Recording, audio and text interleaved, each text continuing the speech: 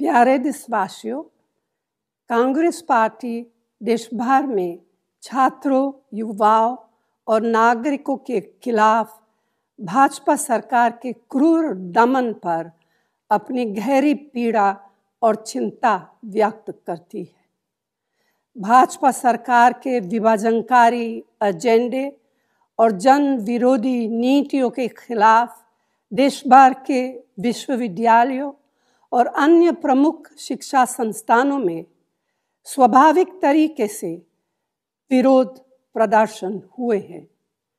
लोकतंत्र में लोगों को सरकार के गलत फैसलों और नीतियों के खिलाफ आवाज़ उठाने और अपनी चिंताओं को व्यक्त करने का पूरा अधिकार है।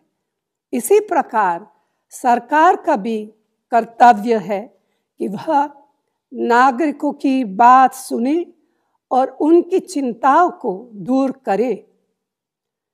दुख की बात यह है कि भाजपा सरकार ने लोगों की आवाज़ को पूरी तरह से नजरअंदाज किया है। यही नहीं, उनकी असहमति की आवाज़ को कुचलने के लिए बर्बरता से ताकत का इस्तेमाल किया है।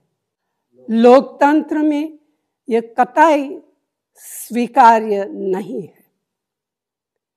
कांग्रेस पार्टी सरकार की हरकतों की पुरजोर निंदा करती है और न्याय की लड़ाई में भारतीय नागरिकों और अपने छात्रों के साथ एकजुट होकर खड़ी है।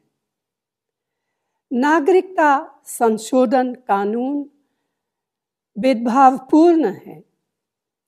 नोटबंदी की तरह एक बार फिर एक एक व्यक्ति को अपने और अपने पूर्वजों की नागरिकता साबित करने के लिए लाइन में कड़ा होना पड़ेगा। प्रस्तावित राष्ट्र स्तर पर एनआरसी समाज के गरीब और कमज़ोर वर्गों को सबसे ज़्यादा नुकसान पहुंचाएगी। लोगों की आशंकाएँ सही और जायज़ है। कांग्रेस पार्टी भारत के लोगों को भरोसा दिलाती है कि वह उनके मौलिक अधिकारों की रक्षा के लिए कड़े होने और हमारे संविधान के बुनियादी मूल्यों को बनाए रखने के लिए पूरी तरह से प्रतिबद्ध है।